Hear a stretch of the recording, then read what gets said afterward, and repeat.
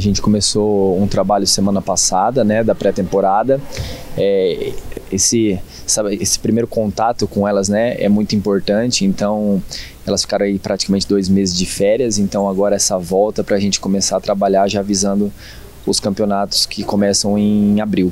Semana passada que a gente começou, né, essa essa parte de testes. Então, quinta-feira até sábado foram testes realizados de agilidade, de potência, é, de resistência, para que a gente realmente saiba como as meninas estão chegando para nós, para aí sim a gente começar um trabalho mais específico visando quem precisa mais de agilidade, quem precisa mais de velocidade, e aí a gente começa a trabalhar mais específico com cada um. A gente gosta de muita intensidade, então as meninas têm que estar bem, bem preparadas para aguentar os 40 minutos do, do jogo. Ano passado a gente trabalhou com bastante calor, então as meninas sentem, não tem como.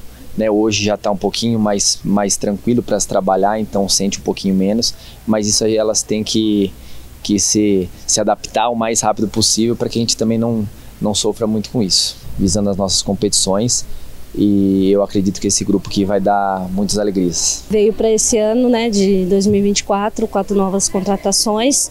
Como saíram quatro, a gente precisava repor o elenco com, com quatro, né? Veio a Martins, a Cris, a Lari e a Larissa também goleira, né? A Larissa goleira, ela veio já de uma equipe do Stein Cascavel, vem aí para somar com a gente nessa temporada. Que venha muitas vitórias, muito trabalho e a gente espera aí ter essas conquistas no final da temporada. Nós temos aí um grupo de torcedores que sempre está presente aqui no ginásio, mas para esse ano a gente espera lotar o Tancredão. Eu quero que a comunidade esteja mais presente com a gente para conhecer esse trabalho que a gente faz aqui dentro da cidade.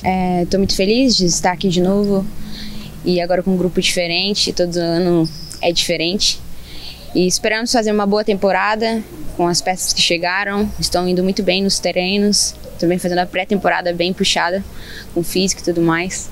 Mas estamos muito felizes e com certeza para fazer um grande ano. Cada uma vem com uma bagagem de lugares diferentes.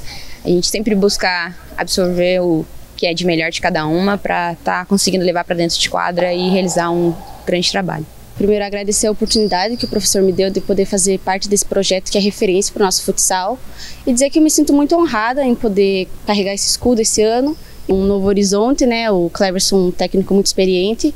O conhecimento que ele tem de jogo, é, parte técnica, tática, soma muito para a minha carreira e espero poder fazer uma boa temporada e ajudar a equipe. E essas foram as informações. Milena Menezes para o Central Esportiva desta segunda-feira.